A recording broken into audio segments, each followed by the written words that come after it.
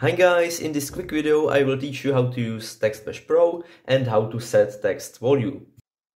So we can start by right clicking in the hierarchy and creating TextMesh Pro. First you need to import TextMesh Pro Essentials.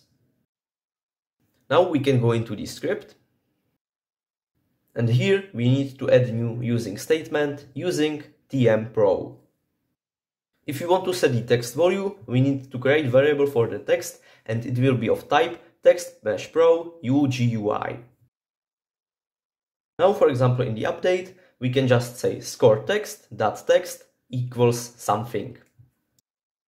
Don't forget to assign the text value and this should be all. I hope this video was helpful. Don't forget to like, subscribe and I will see you in the next one. Bye!